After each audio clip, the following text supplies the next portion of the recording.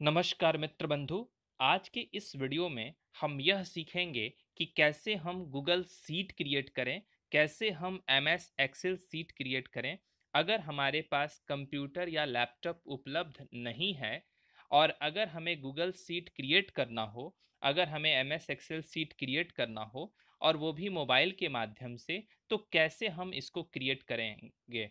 तो चलिए शुरू करते हैं और देखते हैं कि कैसे हम क्रिएट करेंगे एम एस एक्सेल सीट तो सबसे पहले आपको अपने मोबाइल के प्ले स्टोर ऑप्शंस को ओपन करना होगा। ओपन करने के बाद यहाँ पे आपको टाइप करना है गूगल सीट जैसे गूगल सीट्स आप टाइप करेंगे, यहाँ पे नीचे आपको गूगल सीट्स दिखाएगा और यहाँ पे जब आप क्लिक करेंगे तो यहाँ पे दो ऑप्शन आ रहे हैं, एक अनइंस्टॉल का और दूसरा ओपन का, क्योंकि मैंने इस एप्लीकेशंस को पहले ही इंस्टॉल कर रखा है, इसलिए इसमें ओपन ऑप्शन आ रहा है। जब अगर आप इसको इंस्टॉल नहीं किए होंगे तो यहाँ पे ओपन के जगह पे इंस्टॉल ऑप्शन आएगा, जिससे आप इस एप्लीकेशंस को इंस्टॉल कर लेंगे और उसके बाद इस पर वर्क आप कर सकते हैं। तो चलिए हम इसको यहाँ से ओपन करते हैं। ओपन करने के बाद ये आपका एम एस एक्सेल सीट जो ओपन होता है, यहाँ पे परमिशन माँगता है। जैसे अगर आप इंस्टॉल किए होंगे तो इंस्टॉल करने के बाद यहाँ पे परमिशन मांगते जाता है, उसको हम आगे प्रोसेस नेक्स्ट नेक्स्ट करते हुए डन कर देंगे। यहाँ पे हमारा एम एस एक्सेल सीट आ गया और ये एम एस एक्सेल सीट में हम पहले से भी इसको इंस्टॉल करके फिर इसको हम अनइंस्टॉल कर रखे थे। पहले इस पर वर्क किए थे हम तो पहले जितने भी हम फाइल्स बनाए हुए थे, यहाँ पे देखिए अलग अलग जो भी हमारा फ़ाइल क्रिएट किए थे, गूगल सीट्स क्रिएट किए थे, ये हमारा बन के पहले से कुछ तैयार हैं, जो ऑलरेडी हैं, इसमें दिखा रहा है।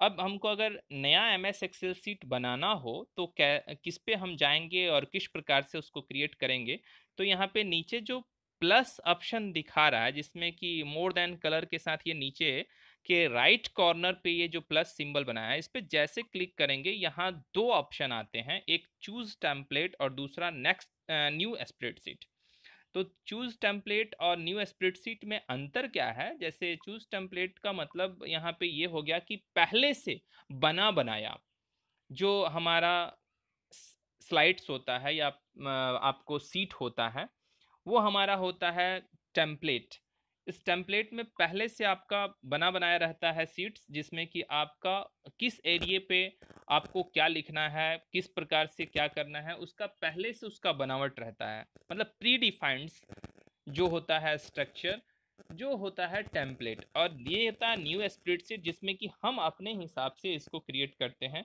कहाँ हमको कितना कॉलम्स कितने रो लेने हैं कहाँ कैसे क्या लिखना है, कहाँ टेक्स्ट डालना है तो हम इसके लिए न्यू स्प्रिट स्प्रेडशीट पर क्लिक करते हैं। जैसे हम न्यू स्प्रिट स्प्रेडशीट पर क्लिक करेंगे, हमारे पास एक M S Excel sheets open हो जाएगा। आप देख सकते हैं यहाँ पे ए, बी, सी, डी ऊपर लिखा हुआ है। यहाँ पे आगे बढ़ते हैं तो ई, एफ़, ऐसे करके हमारे ये सब जो हैं, वो आपका कॉलम है और ये वन, टू, थ्री, फोर जो देख रहे होंगे आप, ये लेफ़्ट साइड में जो ये वन, टू, थ्री, फोर लिखा हुआ है, ये आपका रो है। तो ये कॉलम और रो का जो कम्बिनेशन होता है, ये आपको देखने को मिलता है एम एस एक्सेल सीट पे।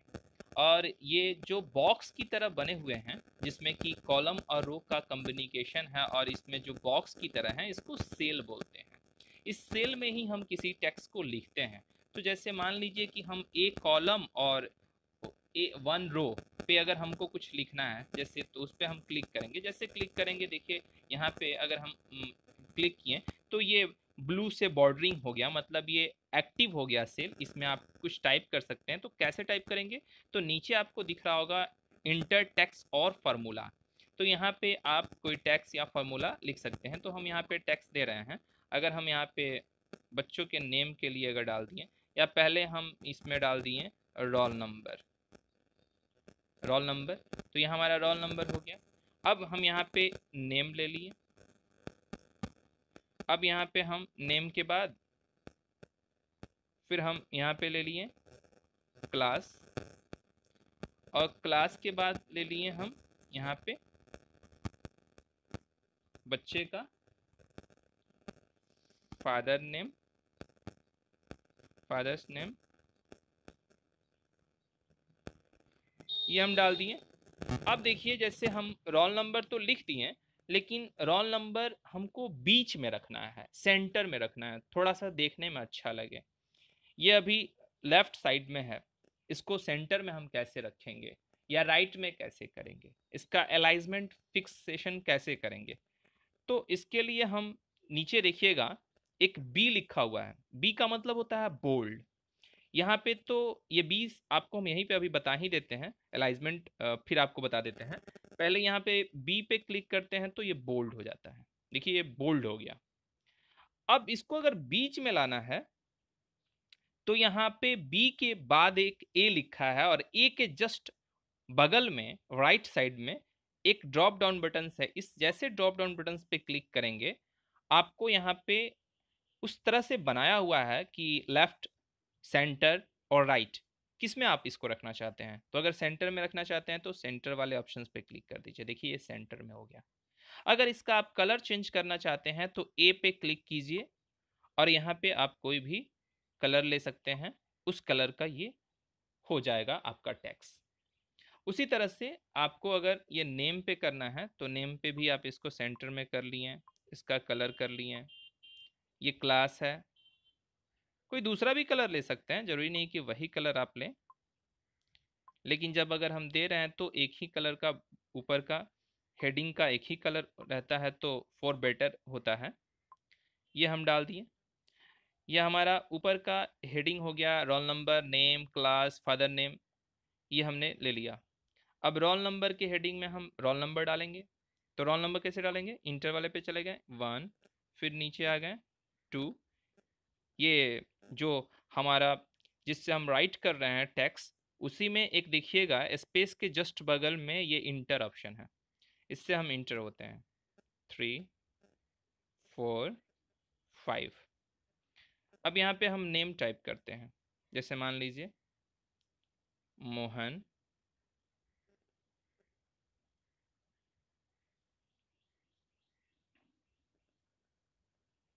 सोहन रोहन।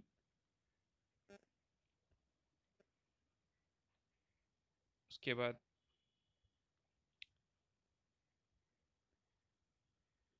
अम अम अमित सोनू सोनू। अब यहाँ पे क्लास अगर हम डाल दिए, जैसे इनका क्लास है मान लीजिए फोर्थ फोर्थ डाल दिए, इनका फिफ्थ है फिफ्थ डाल दिए, इनका एट है एट डाल दिए, इनका नाइन्थ है नाइन्थ डाल दिए, इनका टेंथ है सॉरी टेंथ डाल दिए, ये हम क्लास डाल दिए। फिर यहाँ फादर नेम है तो हम फादर नेम यहाँ पे टाइप कर दिए, जैसे मोहन फादर का नेम डाल दिए यहाँ पे।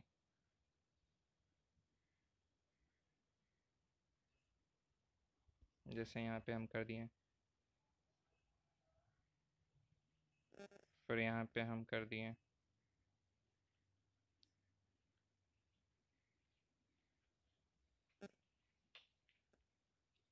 यहाँ पे कर दिए।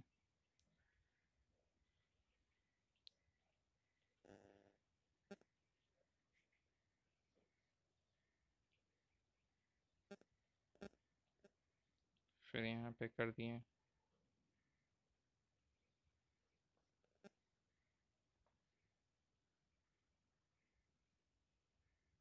इस प्रकार से हम ये कर दिए कि आपको roll numbers name class father name डाल दिया। इस प्रकार से आप कॉलम बढ़ा भी सकते हैं रो भी बढ़ा सकते हैं, और भी डेटा लिख सकते हैं।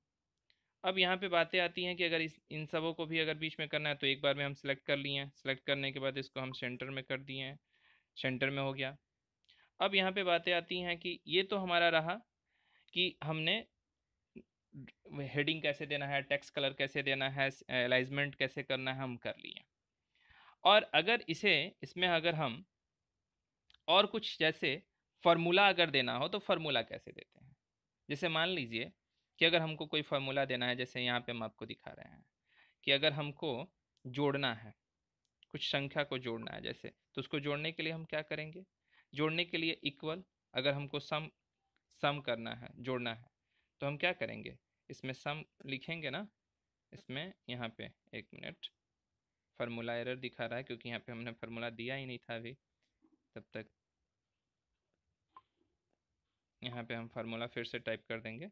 यहाँ पे हम इस इंटर, सम सम देख रहे हैं। ऊपर हम जैसे सम लिख रहे हैं, सम सम इफ़ ऐसे करके जितने भी एस से रिलेटेड फार्मूले होते हैं, वहाँ पे ऊपर शो करने लगा। अब यहाँ पे अगर हमको सम करना है तो यहाँ पे हमको बॉक्स देना होगा। यहाँ पे, और यहाँ पे जैसे हमको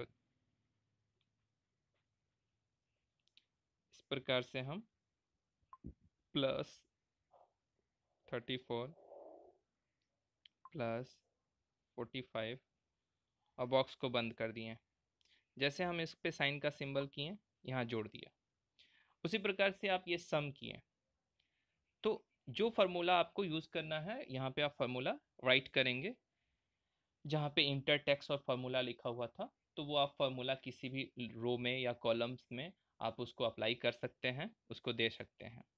अगर किसी प्रकार से आपको कोई चीज़ हटाना है, जैसे यहाँ पे हम जो जोड़े थे उसको हमको हटाना है अंडू करना है तो यहाँ पे ऊपर जो ऑप्शन है दिखाई दे रहा होगा, जैसे आपको ऊपर के लेफ़्ट साइड में एक साइन का सिंबल है जस्ट बगल में एक अंडू ऑप्शन है, देखिए यहाँ पे, जो जो पिछला बैक हुआ था यहाँ पे है, इसके जस्ट बगल में रेडो ऑप्शन है, देखिए तो यहाँ पे रेडो ऑप्शन यहाँ पे अंडू ऑप्शन इससे ये करते हैं, ये जो ऊपर ए है ए पे क्लिक करते हैं तो यहाँ पे भी देखिए, जो चीज़ नीचे हमारा दिखा रहा था बोल्ड बी या हम पैराग्राफ का सेंटर लेफ़्ट राइट करते थे या टेक्स्ट का कलर चेंज करते थे, वो चीज़ हम यहाँ से भी कर सकते हैं। जैसे किसी चीज़ को हमको इटालिक करना है, जैसे अगर हमको ये नेम को इटालिक करना है तो ए पे गए और आई पे क्लिक किए, ये इटालिक हो गया। इसका अगर अंडरलाइन करना है तो इसको अंडरलाइन भी हम कर सकते हैं।